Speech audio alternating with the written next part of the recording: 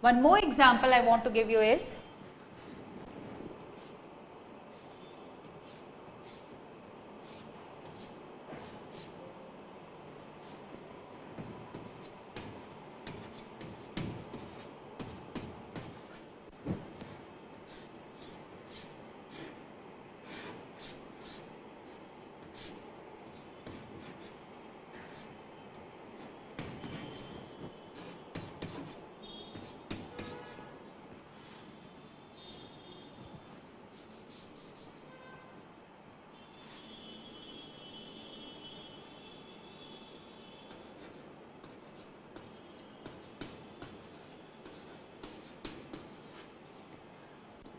the first trans cycloalkene possible which is stable. The first trans cycloalkene which is stable is this. आठ carbon से कम carbon atom का यदि हम ring बनाते हैं और वो भी साइक्लोएल्कीन बनाते हैं तो उसका ट्रांसफॉर्म स्टेबल नहीं होता। जो पहला साइक्लोएल्कीन है, जिसका ट्रांसफॉर्म स्टेबल हो सकता है या होता है, वो है ट्रांस साइक्लोऑक्टीन आठ कार्बन मिनिमम चाहिए और एक डबल बॉन्ड होगा तो उसका ट्रांसफॉर्म स्टेबल होता है, उसके पहले नहीं होता है। तो ये जो है, ये देखो, ये डबल बॉन्ड है, इसमें ये दो ग्रुप्स सेम साइड पे गए, दो हाइड्रोजन भी सेम साइड पे है, इसलिए ये कौन सा फॉर्म कहलाता है? ये कहलाता है सिस फॉर्म और यहाँ पे यदि आप देखते हो तो ये ये डबल बॉन्ड है। इसमें एक ग्रुप इधर जा रहा है, एक ग्रुप इधर जा रहा है। दोनों ऑपोजिट साइड जा रहे हैं। एक इधर जा रहा है, एक इधर जा रहा है। इसलिए इसको हम कहेंगे ट्रांस ये हमारा ट्रांस सिस्टम है। अब वही सी डबल बॉन्ड सी के क्रॉस एक और नॉमन भी होता है। Second type of nomen is E Z nomenclature. E is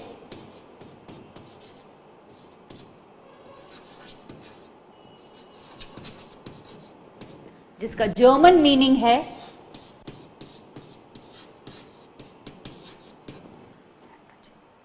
German meaning है opposite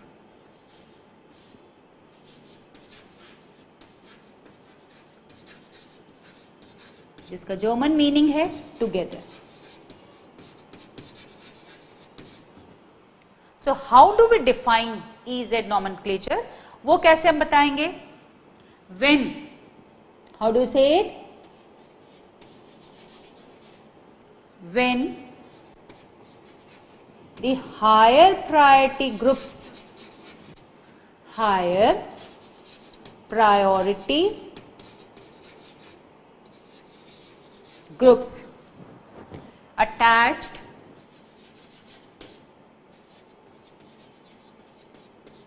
to the two doubly bonded atoms.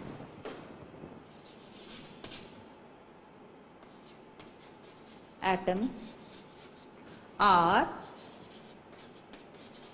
on the same side. It is Z otherwise E. I'll have to explain it otherwise you cannot understand the meaning of this statement. Now what about this higher priority? How do we decide priority? How do we decide? How do we decide priority order? Priority order. You have different rules for it. How do we decide priority order? You have certain rules for it. CIP system hai wo. That is called CIP system. What do you mean by CIP? Kahn, Ingold, Prelog system. There are certain rules for it. In this system you have certain rules for it. What are the rules? Rule number 1. What is rule number 1? Priority is decided on the basis of first atom. If, if the two atoms attached to the two doubly bonded atoms, two doubly bonded atoms. Priority is decided on the basis of priority is decided on the basis of atomic number. But if isotopes are there, it is on the basis of atomic mass. Atomic mass. For example, यदि मेरे पास C double bond C है यहाँ पे fluorine है यहाँ पे chlorine है, यहाँ पे ब्रोमीन है, यहाँ पे आयोडीन है। तो higher priority will be decided on the basis of atomic number इन दोनों में एटॉमिक नंबर किसका ज़्यादा है क्लोरीन का? तो इसको मिलेगी higher priority H P higher priority और यहाँ पे इन दोनों में इसका एटॉमिक नंबर ज़्यादा है तो इसको मिलेगी हायर प्रायोरिटी और यहाँ पे लिखा था higher priority groups are on the same side we call it Z so which form is this this is Z form this is example number one example number two यदि हमें करना है तो मान लो मेरे पास सी डबल बॉन्ड सी है। यहाँ पे मैंने लगाया ओ OH, यहाँ पे लगा दिया सी एच थ्री यहाँ पे लगा दिया मैंने क्लोरीन और यहाँ पे मैंने लगा दिया एन एच टू अब फ़र्स्ट अटैचमेंट देखेंगे हम। हमने यहाँ पे attach to the double bond atom priority decided on the basis of atomic number of the first atom of the first atom जो फ़र्स्ट एटम डिफरेंट होगा ना, वहाँ पे। यहाँ पे क्लियरली लिखा है if the two atoms attach to the double bonded atoms priority is given on the basis of atomic number अब यहाँ पे बात हो रही है, ये ग्रुप्स देखो, ये सब अलग अलग हैं। यहाँ पे फ़र्स्ट एटम वो है। ये वाला रूल जो कहता है फ़र्स्ट एटम से डिसाइड करो। आप सेकेंड एटम पे नहीं जाओगे फ़र्स्ट एटम से डिसाइड करोगे, इसका फ़र्स्ट एटम ओ है, इसका फ़र्स्ट एटम सी है। इसका एटॉमिक नंबर ज़्यादा है। ओ का एटॉमिक नंबर कितना है? एट है कार्बन का सिक्स है। इसलिए आप हायर प्रायोरिटी इसको दोगे। यहाँ पे क्लोरीन देखोगे और नाइट्रोजन देखोगे। फ़र्स्ट पॉइंट ऑफ़ अटैचमेंट देखना है। यहाँ पे क्लोरीन है, यहाँ पे नाइट्रोजन है। क्लोरीन का एटॉमिक नंबर 17 है नाइट्रोजन का 7 है, इसलिए इसको हायर प्रायोरिटी मिलेगी और हायर प्रायोरिटी वाले सेम साइड है, इसलिए हम उसको बोलेंगे जेड एक और एग्ज़ाम्पल आपको दूँ। यदि मेरे पास सी डबल बॉन्ड सी है, यहाँ पे ड्यूटेरियम है, यहाँ पे हाइड्रोजन है, यहाँ पे मैं ले लेती हूँ NH2 और यहाँ पे मैं ले लेती हूँ ओ OH अब यहाँ पे डी और H दोनों एक ही एलिमेंट के आइसोटोप है तो एटॉमिक नंबर तो हम डिसाइड कर नहीं सकते। तो फिर हमने क्या डिसाइड किया है? If isotopes are there it is on the basis of atomic mass इन दोनों में से एटॉमिक मास किसका ज़्यादा है? ड्यूटेरियम का ज़्यादा है, इसलिए इसको हायर प्रायोरिटी मिलेगी। यहाँ पे नाइट्रोजन और ऑक्सीजन में हमें पता है कि एटॉमिक नंबर ऑक्सीजन का ज़्यादा है, इसलिए इसको हायर प्रायोरिटी मिलेगी। अब ये हायर प्रायोरिटी वाले ऑपोजिट साइड पे है, इसलिए हमने इसको बोला ई e. तो फ़र्स्ट रूल हमें क्या बताता है? फ़र्स्ट रूल हमें ये कहता है कि डबली बॉन्डेड कार्बन एटम से जो भी पहला एटम अटैच्ड है, उसके एटॉमिक नंबर से कंपेयर करो, पहला एटम यहाँ कोई दिक्कत नहीं आई क्योंकि एक एक ही एटम था। यहाँ पे आप देखो ओ भी है एच भी है, यहाँ पे सी भी है और तीन हाइड्रोजन भी है। हमें सिर्फ़ पहला एटम देखना है, यदि वो अलग अलग हैं तो। ओ अलग है सी से। Cl अलग है एन से। इससे हमने पहले एटम से कंपेयर कर लिया, जिसकी हायर प्रायोरिटी थी। यदि वो सेम साइड पे है तो Z ऑपोजिट साइड पे है तो E अब हम चलते रूल नंबर टू पे। अब रूल नंबर टू की यदि बात करो तो रूल नंबर वन में हमने फ़र्स्ट एटम कंपेयर किया था। पर यदि फ़र्स्ट एटम सेम है then priority will be decided on the basis of the second atom if first atom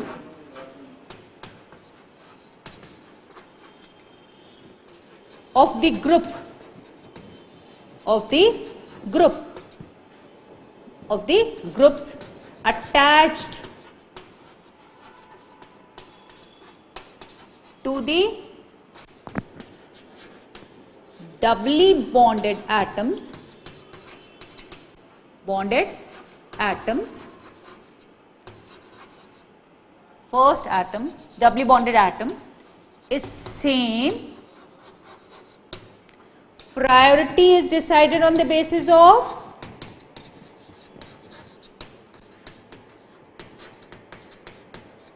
is decided on the basis of the second atom. On the basis of the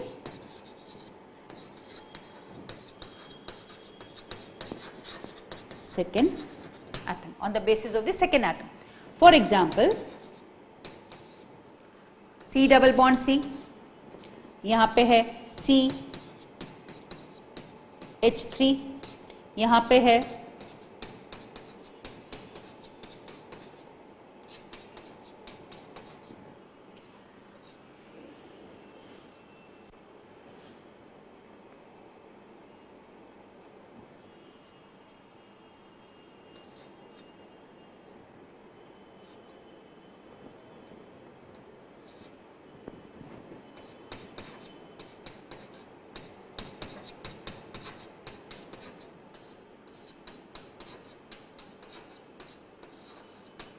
देखो यहाँ पे देखें first atom इसका भी carbon है, इसका भी carbon है।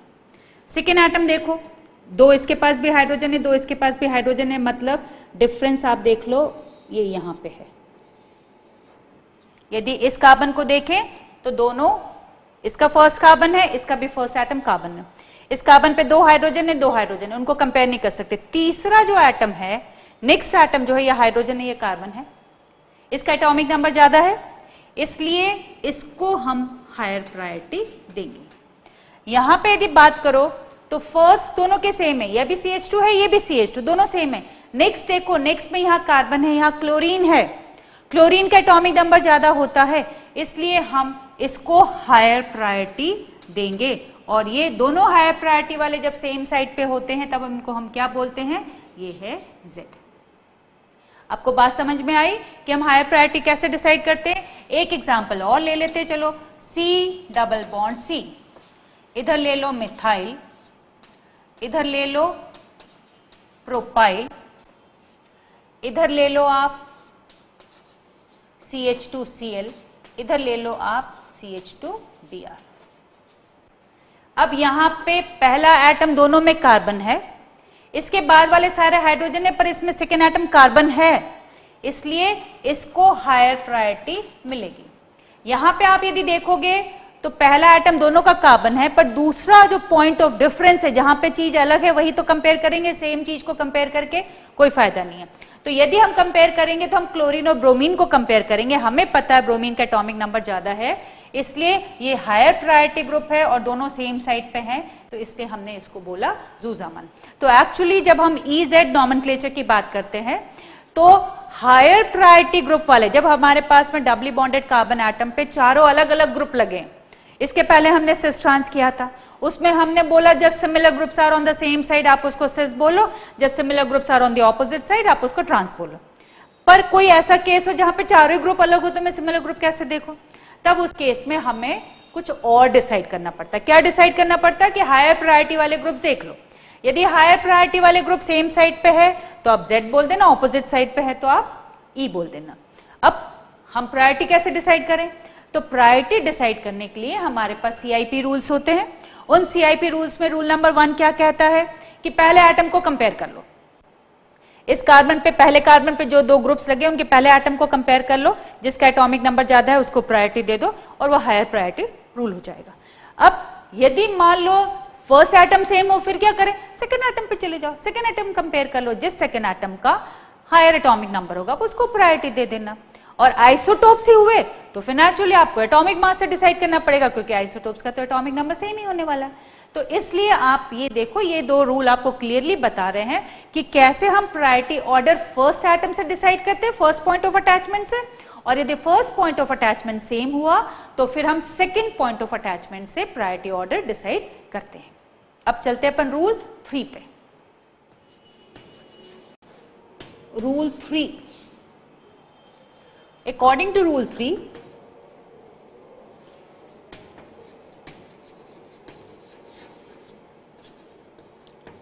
a doubly bonded atom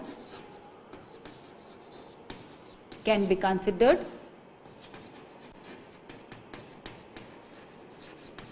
be considered to two such atoms. And a triply bonded bonded atom is considered to be three such atoms. This can be explained only with the help of example. For example, you have C double bond C. This can be considered as one carbon attached to two carbons. C double bond C इसका मतलब C, ये वाला C भी दो carbon से attached है और ये वाला C भी दो कार्बन से अटैच्ड है। ये कार्बन के लिए एक ये रहा कार्बन एक ये रहा, इस कार्बन के लिए ये रहा, एक और ये रहा। यदि मेरे पास होता C ट्रिपल बॉन्ड C, इसका मतलब एक कार्बन तीन कार्बन से अटैच है। मतलब ये कार्बन इससे अटैच्ड है, इससे अटैच्ड है, इससे अटैच्ड है। ये कार्बन भी तीन कार्बन से अटैच्ड आप देख लो, ये कार्बन तीन कार्बन से अटैच है और ये कार्बन भी तीन कार्बन से अटैच है। जब भी ट्रिपल बॉन्डेड सिस्टम होगा तो हम उसको ऐसे लेंगे। मान लो मेरे पास थर्ड एग्ज़ाम्पल में है सी डबल बॉन्ड ओ इसका मतलब क्या है? What does this imply this C is attach to two O and O is attached to 2C. O is attached to 2C and C is attached to 2O. इसका मतलब ये है, यदि मेरे पास कोई सिस्टम है? मान लो हमारे पास बेंजीन रिंग है। ये बेंजीन रिंग है। ये कार्बन कितने कार्बन से अटैच है? ये डबली बॉन्डेड है ना? तो ये वाला जो कार्बन है, ये यहाँ पे टू से अटैच है। यहाँ पे। तो हम इसको कैसे ले सकते हैं? This will be taken as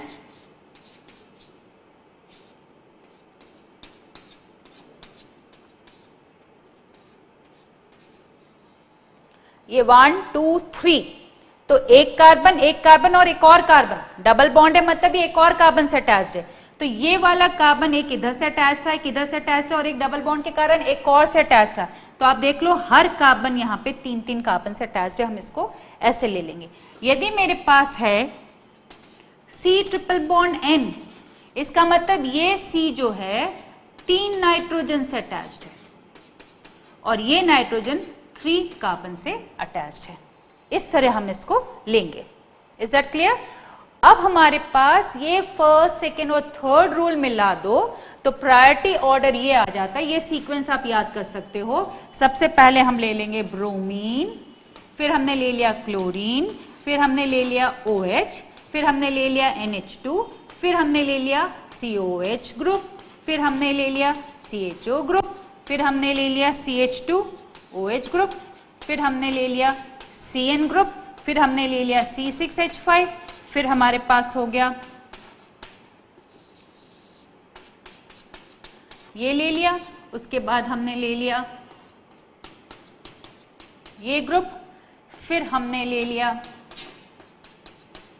ये ग्रुप फिर हमने ले लिया ये ग्रुप ये हम प्रायोरिटी ऑर्डर अपना याद रख सकते हैं। याद रखें तो भी ठीक है याद नहीं रखें तो rule one two three four से आप डिसाइड कर सकते हो। अभी तक हमने रूल वन टू थ्री कर लिया। अब हम करते हैं रूल फोर ये ऑर्डर आप देख लो ये याद कर सकते हो क्या आप? सबसे पहले क्या है यदि आप पढ़ोगे this order is decided on the basis of rule number one two and three first है ब्रोमीन फिर क्लोरीन फिर ओ OH, फिर NH2 इन चारों में कोई दिक्कत इससे नहीं है कि एटॉमिक नंबर इसका सबसे ज़्यादा है, फिर इसका है, फिर ऑक्सीजन का है, फिर नाइट्रोजन का। यहाँ पे COOH है। COH मतलब आप सोचो, एक कार्बन कितने ऑक्सीजन से जुड़ा हुआ एक कार्बन तीन ऑक्सीजन से जुड़ा। क्योंकि C डबल बॉन्ड हो मतलब दो ऑक्सीजन और एक तरफ़ OH है तो नेचुरली उसको प्रायोरिटी ज़्यादा मिलेगी। सी डबल ये जो है आप लिख सकते हो C double bond O O H अब सी डबल बॉन्ड ओ मतलब ये दो ऑक्सीजन से जुड़ा हुआ है और एक और ऑक्सीजन से जुड़ गया तो नेचुरली प्रायोरिटी ज़्यादा हो जाएगी। इसको हम ऐसे लिख सकते C double bond O H यहाँ पे कार्बन दो ऑक्सीजन से जुड़ा है, यहाँ पे कार्बन तीन ऑक्सीजन से जुड़ा था। यहाँ पे जो कार्बन है, इस कार्बन पे एक ही ऑक्सीजन जुड़ा हुआ है। C H two O H वाला एक ही ऑक्सीजन फिर यहाँ पे नाइट्रोजन है। नाइट्रोजन आ जा रहा है, क्योंकि नाइट्रोजन का फिर एटॉमिक नंबर ऑक्सीजन से कम है। फिर C6H5 है, फिर सी ट्रिपल बॉन्ड सी है, फिर टोशरी ब्यूटाइल है, फिर डबल बॉन्डेड है और फिर आइसोप्रोपाइल ग्रुप है। आप प्रायोरिटी याद कर सको तो बहुत अच्छी बात है। नहीं भी किया तो रूल वन टू थ्री लगाओगे तो भी वहीं पर पहुंचोगे, आपका आंसर गलत नहीं हो सकता। अब रूल फोर ये कहता है if the groups attached to the double bonded atoms double bonded atoms are geometrical isomers of each other geometrical isomers of each other geometrical isomers of each other. Z is preferred over E. Z is preferred over E. Z और E हमने अभी सीख लिया है अब हम इस पर यदि बात करें तो मेरे पास C डबल बॉन्ड C है अब यहाँ पे मैं क्या करूँ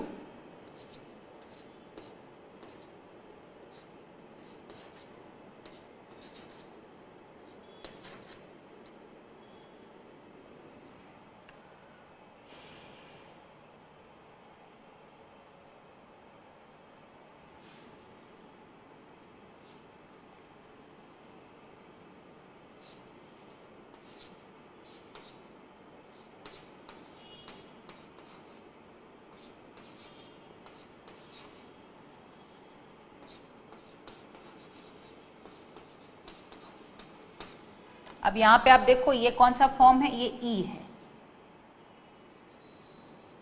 ये ई e है। ये सेम साइड पे है, ये जेड है। और हमने बोला, हम इसको हायर प्रायोरिटी देंगे। और यहाँ पे इसको हायर प्रायोरिटी देंगे तो फिर हमारा ओवरऑल हो जाएगा इज़ दैट क्लियर तो ये वाला रूल हम फॉलो करेंगे कि जब हमारे पास ये दोनों ग्रुप्स एक दूसरों के ईजेड होंगे, उनमें भी ज्योमेट्रिकल आइसोमर होगा, वो ईजेड फॉर्म होंगे तो फिर हम जेड को प्रायोरिटी देंगे ई e के ऊपर। ठीक है? और फिर एक आता है हमारे पास रूल फाइव रूल फाइव क्या कहता है?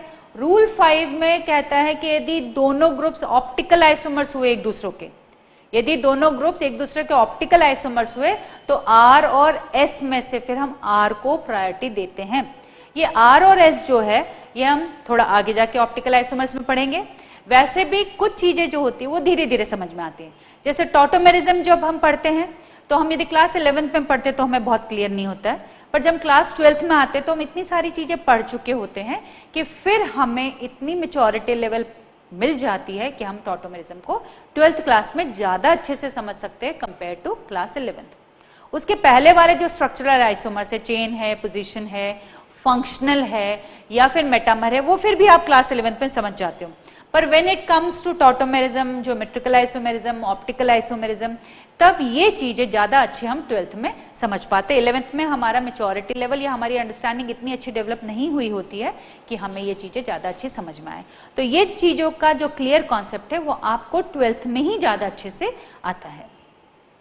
अब ये यदि रूल फोर हो गया तो मेरे पास एक और रूल है, जो हम ऑप्टिकल आइसोमर पढ़ने के बाद ज़्यादा अच्छे से समझेंगे, पर फिर भी रूल तो एक जगह होने ही चाहिए, इससे हम सारे रूल एक जगह लिख ले रहे हैं। ये रूल कहता है if the two groups are if the two groups आप समझ रहे हो मैं बार बार कौन से ग्रुप्स की बात कर रही हूँ? हर बार वही बात होती है कि डबली बॉन्डेड कार्बन एटम से जो ग्रुप लगे हुए हैं if the two groups are optical isomers of each other they are optical isomers of each other optical isomers of each other R is preferred over S R is preferred over S. अब ये R और S जो है, ये optical isomerism में ही हम पढ़ेंगे। अभी मैं एक्सप्लेन आपको नहीं कर पाऊँगी। तो हम इस रूल को बस ऐसे ही लिख लेते हैं और जब अपने को ज़रूरत होगी, वो ऑप्टिकल आइसोमेरिज्म के बाद हम यूज़ कर लेंगे। और रूल फाइव एक छोटा सा रूल है। Rule six that is bond pair is senior to lone pair bond pair is senior to lone pair. Bond pair is senior to lone pair तो अब आपके पास ये सारे रूल्स इकट्ठे हो गए हैं सीआईपी रूल्स जिसके बेसिस पे प्रायोरिटी डिसाइड होगी, और उसके बेसिस पे डिसाइड होगा कि आपका जो ज्योमेट्रिकल आइसोमर है, उसका नॉमन क्लेचर ई के टर्म्स में होगा कि जेड के टर्म्स में होगा। तो फ़र्स्ट एटम देखेंगे अपन। वो सेम हुआ तो सेकेंड एटम देखेंगे। यदि डबल बॉन्डेड या ट्रिपल बॉन्डेड एटम हुआ तो हम उनको ऐसे कंसिडर करेंगे। या फिर हम ये पूरा सिस्टम याद कर लेंगे, पूरा अपने को एज ए रूल याद हो जाएगा और फिर रूल फोर फाइव सिक्स अपने को जो बाद में यूज़ होते हैं हायर उस पर यूज़ होते हैं कि यदि दो ग्रुप्स आपस में, जो डबली बॉन्डेड कार्बन एटम पे या डबली बॉन्डेड किसी भी एटम पे दो ग्रुप्स लगे हुए हैं, यदि वो एक दूसरों के ज्योमेट्रिकल आइसोमर्स हुए तो हम जेड को प्रायोरिटी देंगे ई e के ऊपर. और यदि वो दोनों ऑप्टिकल आइसोमर्स हुए तो हम आर को प्रायोरिटी देंगे एस के ऊपर. अब ये सारे रूल्स इकट्ठे हो गए हमारे पास. तो हम अब कुछ नॉमन करेंगे ई e, ई e और जेड के टर्म्स में। तो चलो तैयार हो जाओ सारे रूल्स प्रिपेयर कर लो। अब मैं आपको एग्जाम्पल्स दूँगी और आप बताओगे कि ई e फॉर्म कौन सा है और जेड फॉर्म कौन सा है।